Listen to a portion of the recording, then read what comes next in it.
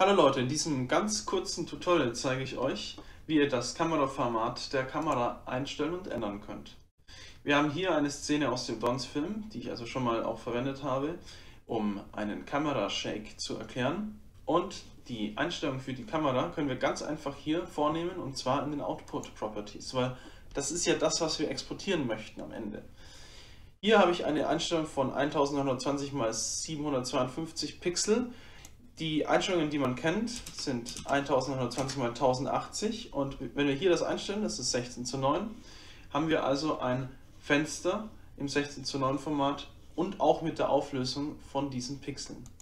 Wir können natürlich auch noch 1440 einstellen, dann hätten wir hier 4 zu 3 oder eben 2.21 und 2.21 wäre 2376 zum Beispiel auf 1080. Ihr könnt auch, wenn ihr wollt, Rechnungen vornehmen. Ihr könnt überall in Blende übrigens Rechnungen vornehmen. Und zwar mit diesen Rechnungszeichen. Wenn ihr zum Beispiel die Auflösung für einen Preview-Render halbieren möchtet, drückt ihr einfach mal durch 2 und hier durch 2. Und dann habt ihr 960 x 540 mit dem Format 16 zu 9. 1 zu 1 natürlich ist 1080 mal 1080 oder 1920 mal 1920. Und ihr könnt auch noch andere Formate einstellen. Im Übrigen auch diesen Slider benutzen, um auch Formate einzustellen, die euch vielleicht besser gefallen.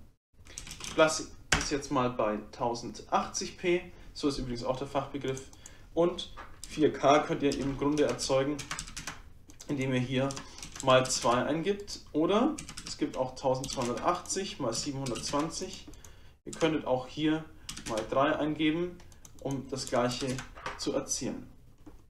Ich hoffe, ich konnte euch mit diesem kleinen Video etwas helfen, die Formaleinstellungen der Kamera im Blender anzupassen. Macht es gut und bis zum nächsten Tutorial.